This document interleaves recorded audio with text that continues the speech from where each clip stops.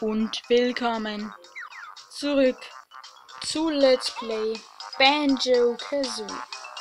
Im letzten Part haben wir Rusty Fuck It Bay gestartet und fast unser blaues Wunder lebt, denn wir wären fast ertrunken. Holy shit.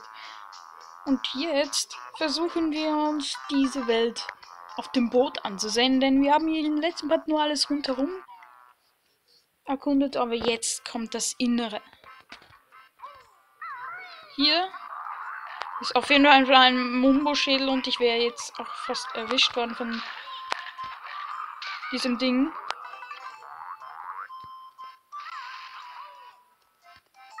Und bin da nicht hochgekommen. Super. So, aber das Schiff selber ist ja gar nicht mal so schwer. Wie sollte er mich verletzen können, wenn ich ihn, obwohl ich... Hä? Das ergibt keinen Sinn. Ich habe ihn doch... Okay. Ähm, jetzt komme ich da nicht mehr hoch. Oder doch? Okay. Den Cheater besiegt. Ich will das Leben. Och, komm schon! Ich muss mich besiegen lassen, damit ich ähm, das Leben bekomme. Oder auch nicht. Ich bugge halt fest. Cool. Noch mehr Bugs. Siehst. Oh. Holy shit. Ich wäre fast im GBJ gewesen. Ich wäre fast im Gay Baby Jail gewesen. Holy shit. Fuck. Das wäre knapp gewesen. Ähm, ich habe diesen Part schon mal aufnehmen wollen, aber ähm, ich hatte einen Bug. Also in diesem als ich hereingegangen bin, gab es einfach einen Freeze-Bug. Und ich hoffe, der kommt nicht nochmal. Irgendwann in diesem Let's Play, weil das war anstrengend. Ich habe vergessen, einen Safe State zu setzen, nicht Trottel. Und deshalb musste ich alles nochmal spielen, was gar nicht mal so viel war, was ich tun musste. Trotzdem war das anstrengend und scheiße. Und wir haben hier Boss Boombox. Ja, wer wagt das, mich zu Schwein? Vergehen wird euch sehen und hören, ey. Das ist gar kein Spaß, denn das Puzzleteil ist geil versteckt. Darum wird es nie entdeckt. Bist du dir sicher? Mann. Hallo. Meine Cheater. Okay, was?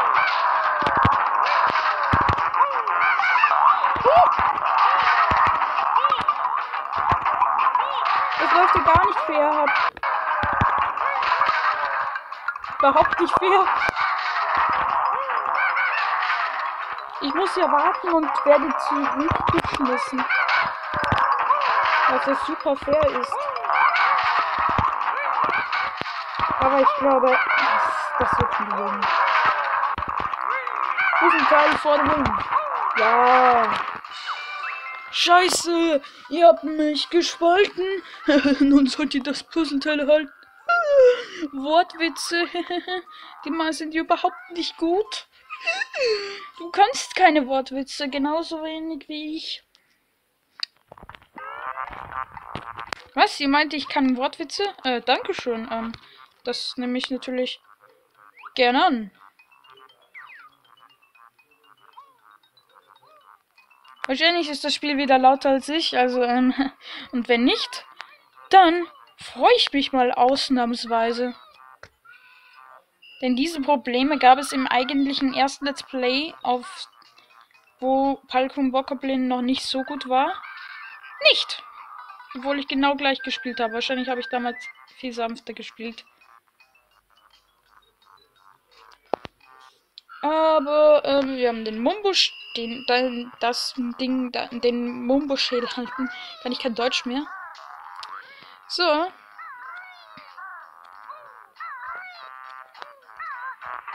So, wir erkunden das Schiff weiter. Wir climben erstmal ab.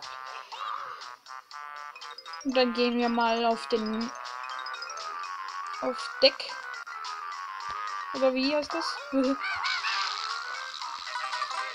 Denn ganz oben befindet sich natürlich auch etwas. Also gehen wir nicht leer aus.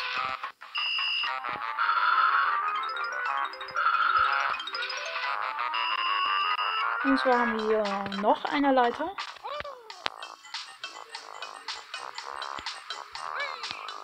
Und hier haben wir einen Gegner, der eine Sprungplattform bewacht, aber nicht gut. Hier ist einmal erstens ein Mumbo-Schädel. Aber hier drin ist noch was. Und zwar noch eine Leiter. Hier oben ist ein Puzzleteil. Yeah! Okay.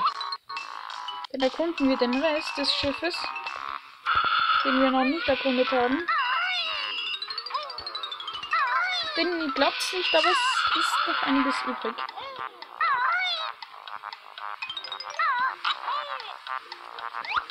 Nein! So, hier seht ihr Codes. Und für Blindspieler ist das natürlich komplett kacke. Also für mich war das immer kacke. Und dieses Detail, womit man das, den Code weiß, um ein Puzzleteil zu bekommen, den habe ich nie gefunden. Besser gesagt, das hat mich nicht interessiert. Ich habe nicht logisch gedacht, dass 312111 der Code und die Reihenfolge ist, wie man das aktivieren muss. Dachte mir immer, das muss man ja machen. Und ja, ich habe einfach nie gewusst, dass das der Code ist. Naja, mein Jüngeres, ich war schon ein richtiger Trottel. Obwohl ich gar nicht schlecht war, wusste ich allerdings das nicht. Das war bei Zelda-Spielen auch so. Das Zelda-Spiele sind eher rätselige Spiele. Und doch bin ich in solchen Spielen, wenn es um Blind-Sachen geht und herausfinden, was du tun musst, richtig schwer. Ich habe nämlich Zelda Link's Awakening für die Switch zu Weihnachten bekommen und da, da habe ich öfters bei Strolli nachschauen müssen. Wahrscheinlich wirst du jetzt antworten, lieber Strolin Strolinski. Danke für dich und deine tolle Community. Ansonsten hätte ich das nie geschafft. Das wäre. Ich wäre nie auf die Rätsel gekommen, vor allem die Adlerfestung. Das war wirklich. Ich wusste echt nicht, was ich tun soll, ab und zu. Und dann fällt mir einfach irgendwann wieder ein und so. Ach so geht das. Das, äh, das sah gerade gar nicht aus, als könnte man da gar nicht rein. Ich schwöre, das sah für mich normal aus. Oh mein Gott. Ich bin so dumm. So. Wir haben hier die Küche erreicht. Du Spaß. So. Wir sind fast fertig mit den Noten. Und du willst mich anheizen? Hat jemand richtig gepatzt. Ich meine, was sind das bitte für, für Köche? Die können nicht einmal backen und patzfrei arbeiten. Die hinterlassen so viel Scheiße. Und hier gibt es einen kleinen Bug, weshalb man hier gar nicht hoch muss. Um die Eier zu holen. Aber ich brauche ein Leben. Thank you. Denn das könnte man hier gebrauchen.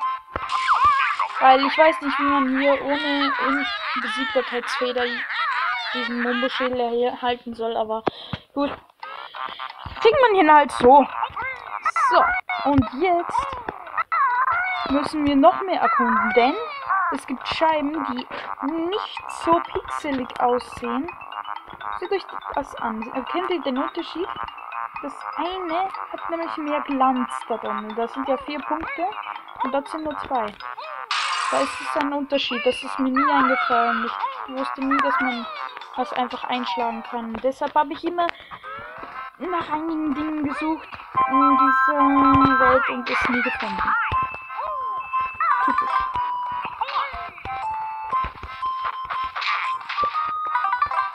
Aber gut.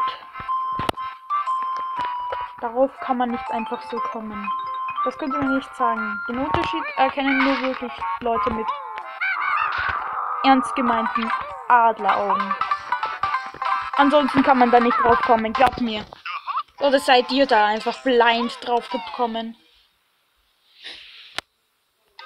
Ich erkenne gar keine Möglichkeit, auch auf blind zu kommen.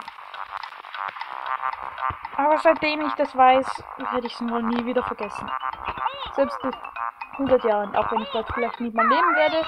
Aber wer weiß, vielleicht gibt es etwas, womit man unendlich lang leben kann. Kann ja sein. Und dann wird dieser YouTube-Channel für immer und ewig existieren. Das wollt ihr doch, oder? Hoffe ich. Aber ich stelle mir eine glorreiche Zukunft vor. Zwar fängt das klein an mit den Channels, doch irgendwann, irgendwann steigt das hoch. Ich habe keine Capture Card, weshalb das Let's Play noch schwer wird. Deswegen Let's Play ich Retro Let's Plays. Und irgendwann, wenn ich erwachsen bin, weil ich werde einen reichen Job ausüben, kann ich mir eine Capture Card leisten und nein, vielleicht sogar, wenn ich so Nebenjobs mache. Und dann kann das mit den Let's Plays richtig losgehen, weil dann wird es neue Let's Plays geben. Das wird ganz super.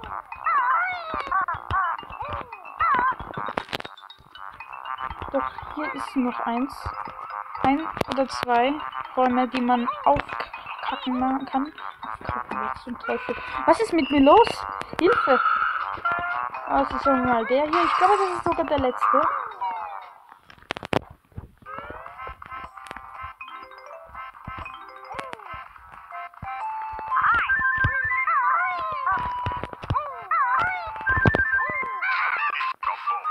Hier war ein Mungo-Schädel. Hier sind da ein paar komische Zettel. Und wie ihr seht, bei diesem unteren Bild hat wohl Rare Rare die Zeit vom 3DS vorausgesagt. Das sieht ziemlich aus wie so ein 3DS Cartridge. Das ist mir auch erst jetzt aufgefallen. Hier seht ihr ähm, die Freundin von Conker, die in einem neuen Conker geplant war, aber dank Microsoft geht das ja nicht mehr. Hihihi. Danke Microsoft. Gar nichts. Danke für, für, für diesen Schaden, den ich nicht einhaben nehmen wollte. Mein Deutsch ist wieder perfekt heute. Ähm, gut, dann haben wir das hier eigentlich schon. Wir haben alles auf dem Deck eingesammelt. Schaue mir kurz die Statistik an, bevor ich irgendwas noch weitermache. Doch, das war's. Jetzt gehen wir zum schrecklichsten Raum in-game. Oder besser gesagt, der mit einer Instant-Death-Stelle. Der Maschinenraum. Ja, dann machen wir weiter. Jetzt ist die Musik weg, weshalb ähm, die Sache ist diese, da das Spiel wieder spinnt. Also das Spiel ist lauter als ich, obwohl ich genau gleich laut spreche wie immer. Es spinnt leider und es ist leider deshalb so. Und deshalb spreche ich tatsächlich nochmal. Also, hier haben wir die, die leere Honigwabe in diesem Welt, die letzte. Und ihr seht, dieser Raum ist sehr gefährlich. Hier ist eine Instant-Death-Stelle. Wer runterfällt, stirbt sofort. Also nicht eine tolle Stelle. Ich bin ein Ehrenmann, nehme das alles nochmal auf, verbrauche den Speicher, mir egal. Ich mach das. Hier geht's hoch, denn hier müssen wir hoch. Und besiegen diesen Gegner hier mal. So, warten, hier müssen wir warten, sonst fallen wir runter. Und das wollen wir nicht, denn hier sind die letzten Noten. Und wenn wir einmal runterfallen, heißt das sofort Instant Death. Du musst alle Noten nochmal einsammeln. Und auf das haben wir doch keinen Bock, oder? Das heißt, wenn wir, runter, wenn wir runterfallen, müssen wir alles einsammeln. Aber wenn wir die Noten wieder haben, dann müssen wir nichts mehr einsammeln. Das ist ziemlich gut. Weil wer will denn schon unendlich Dinge einsammeln? Das ist nicht lustig. Also machen wir schnell die Noten, bevor wir runterfallen. Oder hoffen, dass wir nicht mehr runterfallen. Hier sind die nächsten vier und dann kommen die letzten. So. Hier die Noten. Ich weiß auch nicht, was das mit dem Programm hat. Ich glaube, ich werde mein Programm auswechseln, weil das, das gab es eigentlich nie. Das gab es wirklich nie. Bei dem ersten BK Let's Play gab es das nicht. Ich verstehe auch nicht, warum das ist. Das und wenn ich den Rekorder auswechsel, dann ist auch nichts. Aber damals habe ich genau gleich gespielt. Das Spiel ist einfach lauter als ich, obwohl es auf der leisesten Stufe ist. Das Spiel ist das Handy ist auf der leisesten Stufe, die es nur gibt, doch trotzdem ist es lauter als ich. Und ich spreche noch extra laut. Das ergibt keinen Sinn. Aber gut, jetzt haben wir alle Noten dieser Welt. Applaus, Applaus für gar keine Worte. So, wir haben neun Puzzleteile und jetzt müssen wir das hier aktivieren. Das könnte gefährlich werden. Also aktivieren wir es sofort. Aber das Leben zuerst. Ja, diesen Raum, den habt ihr schon gesehen. Dort haben wir das erste aktiviert. Und jetzt wird es erstmal langsamer, aber halt, haltet nicht an, es wird nur langsamer. Die Turbinen, man könnte jetzt sogar durchgehen, aber ich traue mich nicht. Ne, hier ist nichts. Denn hier gibt es auch ein paar Mumbo-Schädel, die wir gegen im nächsten Part erst abholen. Und hier ist der letzte Schalter, womit wir wohl das Ganze aktivieren werden. Fuck this shit, I'm out.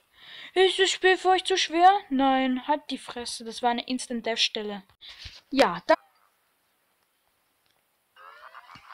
Trotzdem müssen wir die Gegner wieder beide besiegen.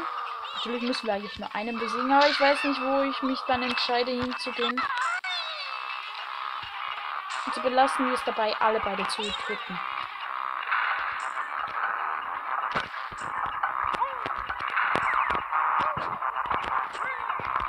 So, hier hoch.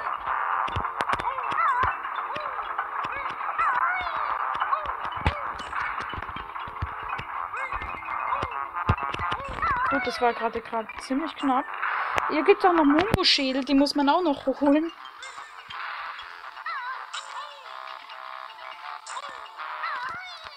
Ein Leben können wir uns auch wieder leisten. Das war wieder noch. Das, die Turbinen abslowen. Das könnte man durchgehen, wenn man wirklich gut timet. Aber ich gehe kein Risiko ein. Und nehme den gefährlichen Weg. Und jetzt muss man das hier auch noch richtig gut timen, dass die Plattform sich nicht währenddessen bewegt, währenddessen man sich beeilen muss. So, und jetzt hört es auf. Aber wir haben ein Zeitlimit dafür. Was ziemlich kacke ist, dafür dreht sich hier nichts mehr. Bis auf diese Plattformen, die sich rundherum drehen. Und die Turbinen.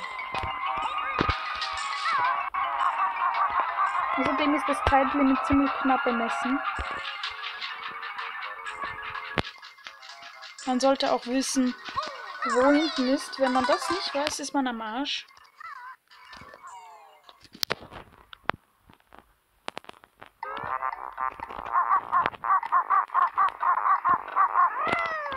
Also beeilen wir uns. Das Zeitlimit ist wirklich knapp eigentlich. Man darf sich keine Fehler erlauben. Den habe ich mir aber erlaubt, weil ich auf der falschen Seite war. Ach, hoffentlich das geht das. Nee, nee, nee. So, diesmal bin ich nicht so dumm. Ich habe es nicht geschafft. Leider. Doch, das war kein Problem, das nochmal zu gehen. Ich habe es wieder geschafft. Und diesmal hört es uns. Das letzte Puzzleteil dieser Welt. Doch, wir brauchen natürlich noch die Mumbo-Schädel. Was ziemlich kacke ist. Gott, ich muss den ganzen Weg nochmal gehen. Ach shit, das ist kacke. Wieso bist du jetzt weggepackt? So. Ich würde aber sagen, diese Mumbo-Schädel holen wir aus dem nächsten Part. Und deshalb würde ich sagen, danke fürs Zusehen. Bis zum nächsten Part. Ciao, Männer! Aber ich gehe in diesem Part noch rein in die Maschine. Und im nächsten Part fangen wir die letzte Welt an. Und dann geht's dem Ende zu. Also, danke fürs Zusehen. Bis zum nächsten Part. Ciao, Männer!